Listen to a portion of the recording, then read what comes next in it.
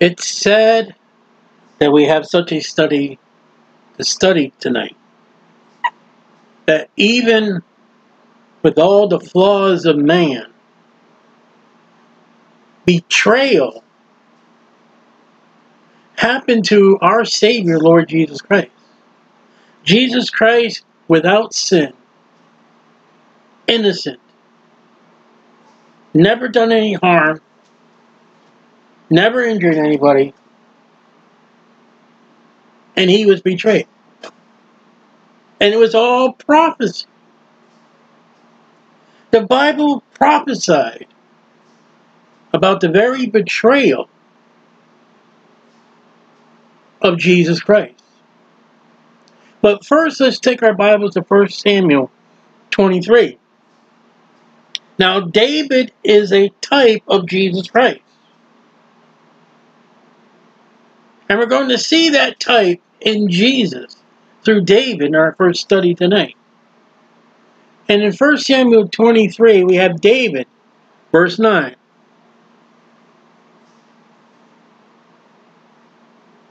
Wait a minute, not verse 9, excuse me. I'm in the wrong place.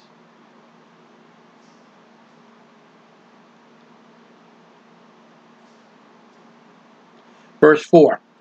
Then David, 1 Samuel 23, 4, then David inquired the Lord again. And the Lord answered and said, Arise, go to Keilah, for I will deliver the Philistines into thy hand. So David seeks the Lord, and the Lord says to David, Go to Keilah. I'm going to give you victory in Keilah. You're going to win. And David and his men went to Keilah and fought with the Philistines and brought away their cattle and smote them with a great slaughter as God said it would. So David saved the inhabitants of Keilah. Keilah was spared because of David. Keilah won against the enemy because of David. David protected the inhabitants of Keilah. Protection was by David unto Keilah. They put their trust in David. And David was trustworthy through the Lord that he won the battle for them and protected them.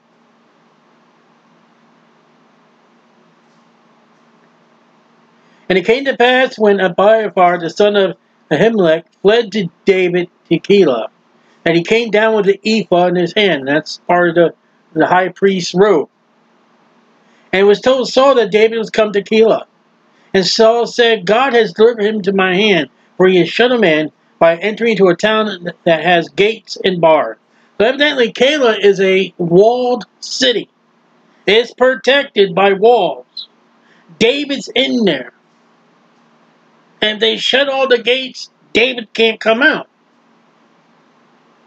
So this is a city that is protected by walls. It is protected by God using David. Verse 9.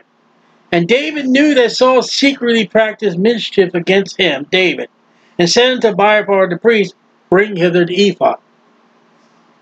Then said David, O Lord God of Israel, Jehovah, thy servant. Jesus Christ was a servant, Mark. The Gospel of Mark shows us Jesus as the servant of God.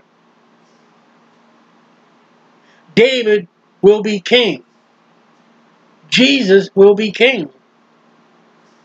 Has somebody heard that Saul seeketh to Keilah to destroy the city for my sake? Well, Jesus has an enemy called Satan, called the Antichrist. And they're out to destroy the city. Jerusalem. David asked, Will the men of Keilah deliver me up into his hand? The people that David saved, Lord, the people that we won the battle, the people that we protected, the, the citizens of Keilah should be happy and thankful and great for the victory that you gave me over the Philistines. Saul's coming. Are they going to stab me in the back, God? Are they going to say, here he is, take him. And the Lord said, they will deliver thee up. Well, that's interesting. That's very interesting. Because you know what?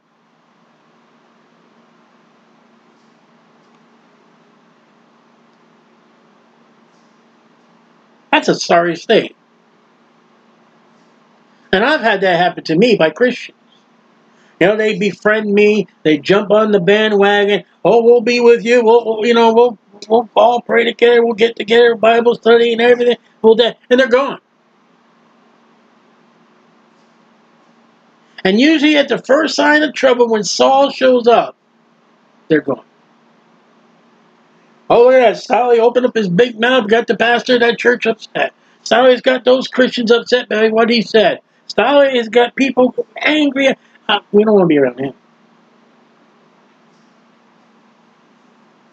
I've had people come to the uh, the street preaching what we used to do, and they come and they find out we don't want no part of that. They get upset. They yelled. One guy told me a woman stood in my face and screamed at me. Yeah.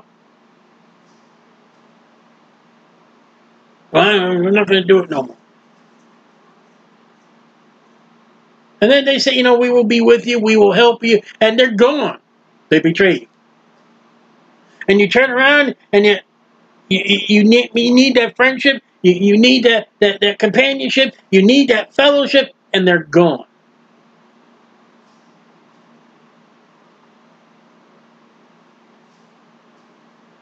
Few that go through the gate of salvation.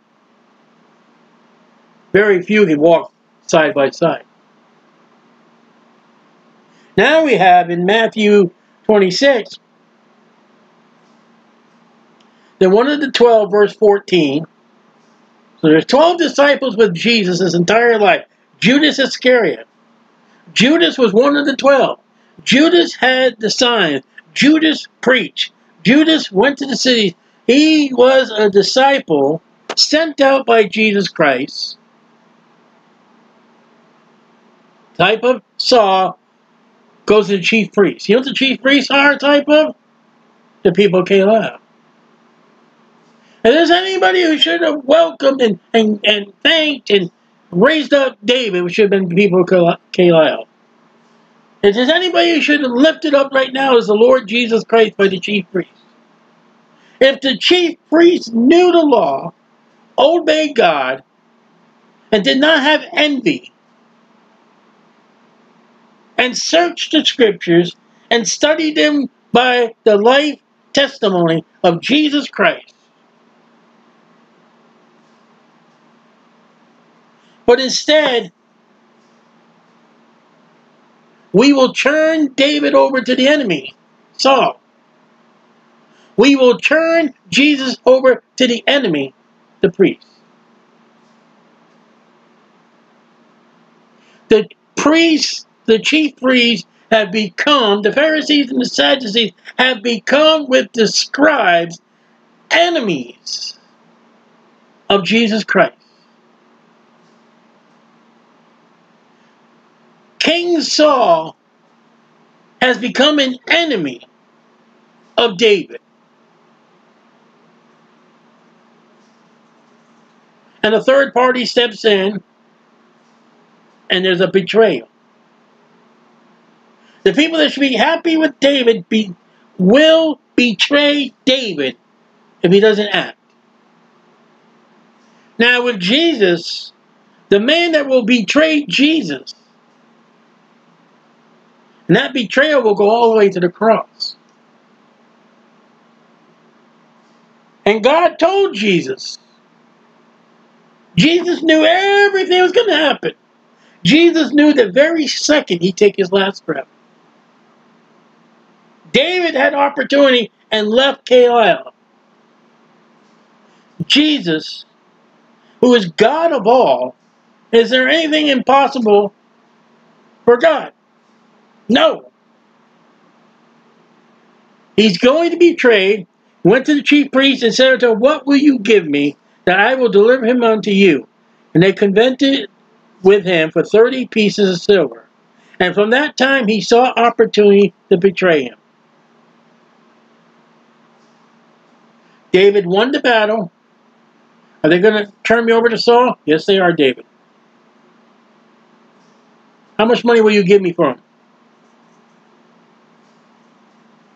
Okay. Let me find the most convenient moment that we can get him. You know, there are Christians that will betray you. And it's not always 30 pieces of silver. It's, I don't want to be friends with him. I don't want to stick my head out like he does. I want to be liked among the church. I want people to like me. I don't want people screaming at me. I don't want people hate me. I don't want to carry that Bible around. I don't want to read that Bible. I don't want to have the nerve to tell that person, hey, this is what the Bible says, and this is what you're doing. Hey, I don't want that kind of conflict.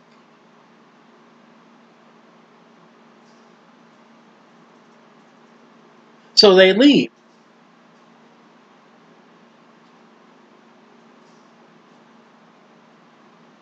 Jesus didn't leave.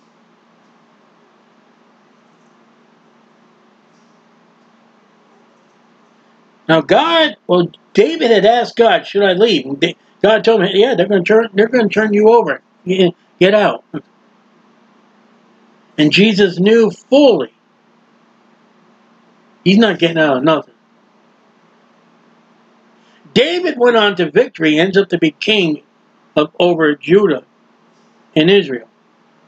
Jesus Christ gained a victory coming out of that tomb three days and three nights alive and will get a kingdom. Judas gets his 30 pieces of silver. Judas throws his 30 pieces of silver on the ground. Goes and hangs himself. King Saul goes into battle and is wounded.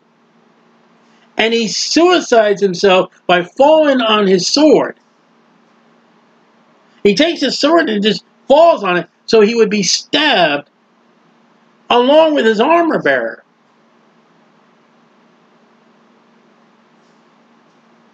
So the enemy, King Saul, and the enemy, Judas, they both die by suicide.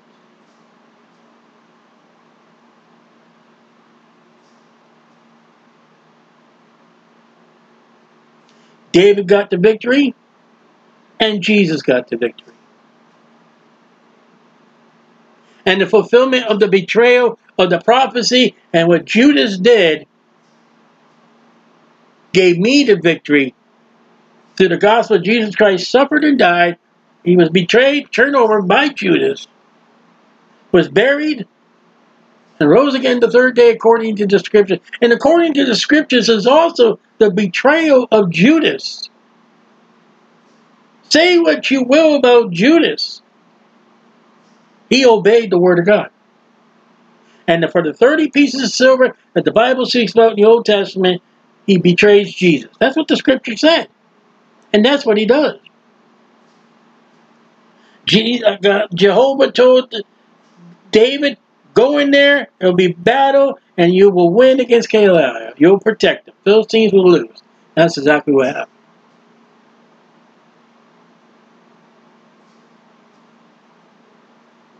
And then Judas comes along. Now, there's one thing we need to look at also. If we go to Psalms,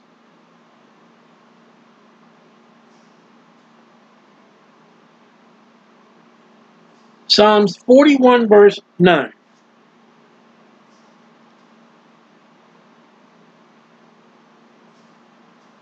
Now, I'm going to tell you, Christian, if you're going to live right, if you're going to try to do right, and you're going to have a life of true prayer, true Bible reading and Bible study, and you're going to have conviction, and you're going to lovingly judge things.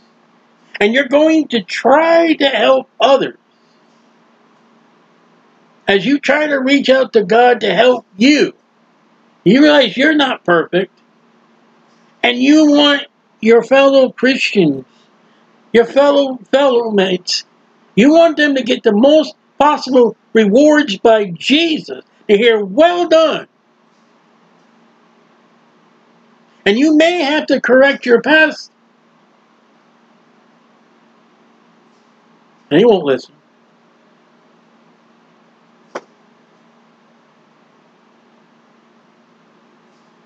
I'll throw, know, touch not my anointing. Eh, that's the priest. Eh, we didn't anoint you. Anybody can get in a pulpit today. And you may get the knife wounds in your back. You may get the million dollar wound in your butt. And you didn't turn around in battle. You went forward and the guy behind you shot, shot you. And you'll be confused. You'll get depressed. You'll get upset. There'll be sadness. But think about David. Are they going to turn me over? Yes, they are. Here comes Saul.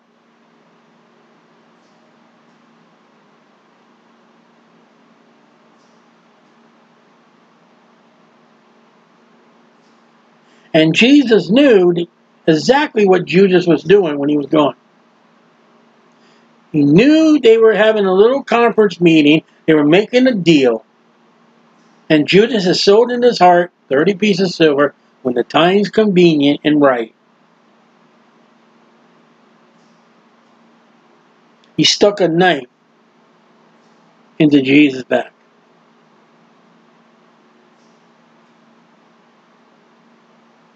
Yes, even our Savior, Jesus. Now, Psalm 41 Verse 9. Yea, my own familiar, see the word family in that? Familiar friend. So this is not just friends, this is a familiar friend. Now remember friend. Familiar friend, remember friend, whom I trusted. When you betray someone, you end your trust. You break the trust which did eat of my bread. They had dinner together. They had supper together. Judas was at the Last Supper. I don't care what the Catholics say.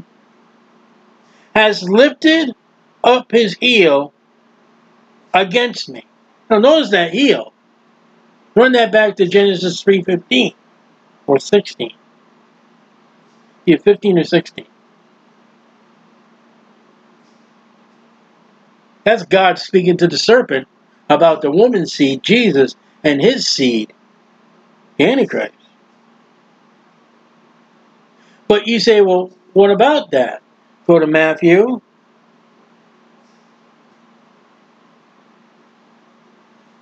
Matthew 26, 48. Matthew 26, 48. Now he that betrayed him, Judas, who that betrayed, gave them a sign saying, Whomsoever I shall kiss, that same as he, hold him fast. It's the middle of the night. There's no street lights. There's no porch lights. So Jesus says, I'm going to go up to the one that's Jesus. And the one that's Jesus, I'm going to give him a kiss. And forthwith he came to Jesus and said, Hail, Master, hypocrite, and kissed him. And Jesus said unto him, said unto Judas, Now you run that back to Matthew 41, I mean, Psalms 41. Friend, wherefore art thou come? And they came, laid hands on Jesus, and took him.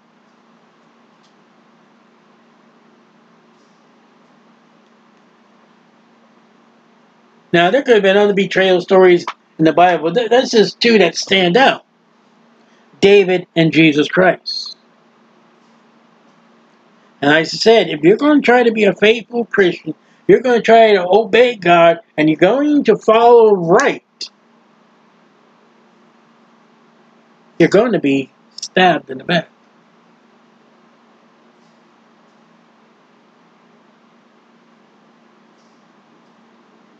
Especially like if you live in communist areas of the world.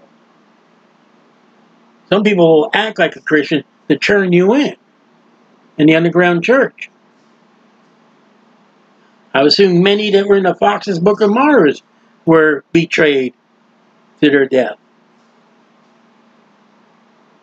The book of Pilgrim's Progress. There, there are characters in that book, they want to betray Christians. They want to lead them astray. Demas in Pilgrim's Progress wants to try to lead people off to the silver mine.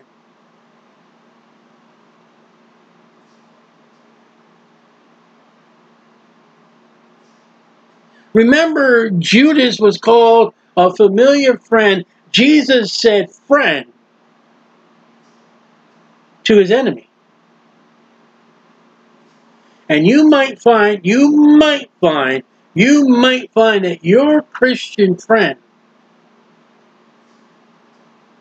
might be one day, might be one day, maybe, stabbing you in the back. And don't act all surprised because betrayal is a Bible doctrine.